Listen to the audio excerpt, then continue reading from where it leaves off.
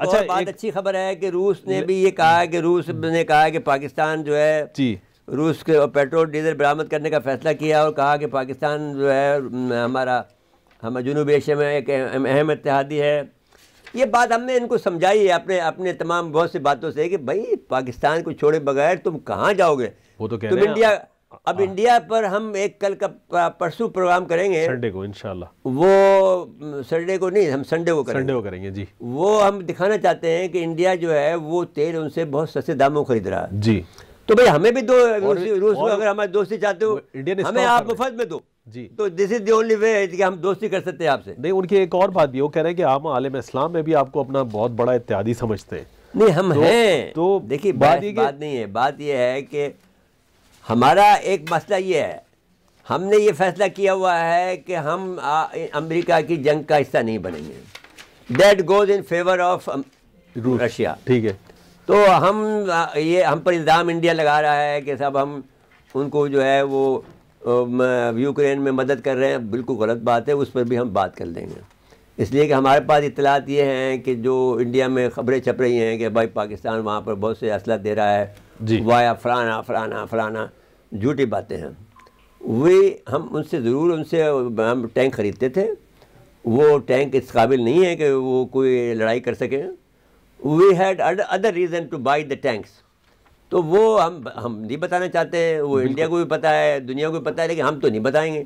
تو ہمارے پاس ہمیں وہ پرزے اجازت چاہیے تھے ہم نے وہ استعمال کرتے تھے ہم سے یوکرین سے لیتے تھے ہماری کافی بڑی تجارت تھی ان سے ہمارے کافی بڑا لین دین تھا۔ وہ ٹینک روسی ٹینک ہیں جو کہ وہ اب روس بناتا نہیں ہے لیکن اب وہ یوکرین کے پاس ہے وہ کارخانہ۔ جی۔ تو اگر وہ روس کے پاس ہوتا تو ہم روس سے خریدتے۔ تو اب اس لحاظ سے ہمارے اور امریکہ بھی کہہ رہا ہے کہ بھائی ہمارا بھی اتحادی تو ہم نے یہ بات ایک زمانے میں آپ کو ایک ایک ایک وہ چلائی تھی۔ ویڈیو پھر بھی چلانا چاہتے ہیں تو پھر بھی چلا سکتے ہیں۔ جو ملک بھی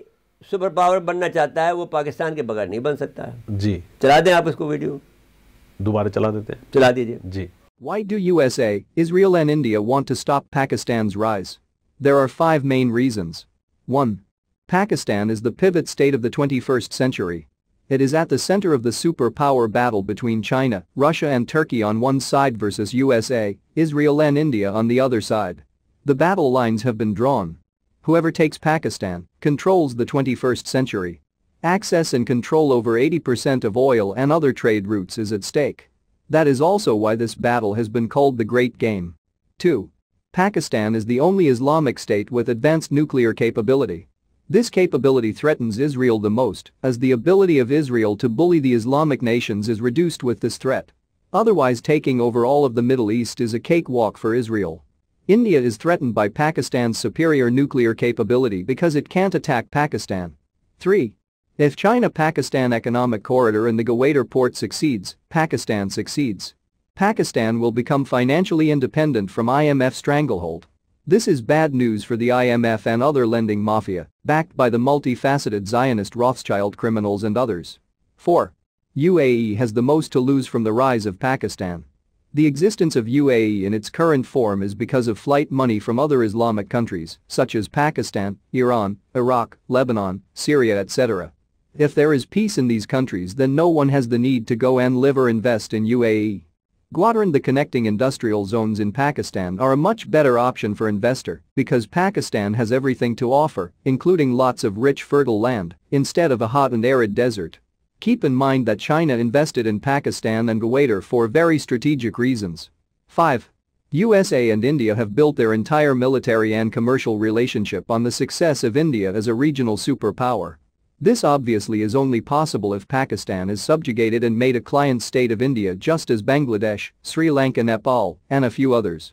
Pakistan is the only country standing in India's way to seize total regional hegemony.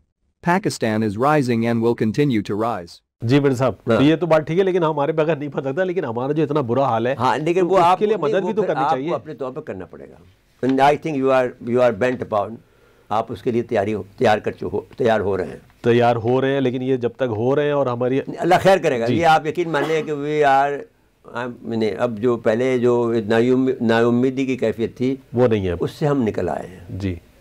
ابھی جیسے وہ کہہ رہے ہیں کہ اب جو بھی آئی ایم ایف کی ہوگی شرائط ہم مان لیں گے۔ منی دیر بھائی ہم پرواہی نہیں کر رہے ہیں کہ جاؤ تمہارے تمہیں ہماری ضرورت پڑے گی تمہیں ہمیں پیسے دینے پڑیں گے۔ اور ڈالر کی کوئی حیثیت نہیں ہے ہم جب روپیہ پہ چھاپتے رہیں گے۔ کیا کرو گے تم؟ ہم جاؤ۔ بہرحال، چلیں اللہ کرے کہ بات کچھ نہیں ہم ایک اور بھی بات کریں گے۔ وہ آپ کو پرسوں ہم ایک اور بات کریں حمید گل نے کہا تھا جب سو بلین ہو جائے گا تو اس وقت یہ کہیں گے کہ آپ کا یہ پروگرام بند کرو۔ جی۔ ایڈمی پروگرام بند کرو۔ بٹ دیٹ تھوڑی ہیز بیکم رانگ ہم بند نہیں کریں گے کسی صورت میں بھی۔ وہ بند کر نہیں سکتے ہم بالکل ہاں۔ صحیح بات ہے۔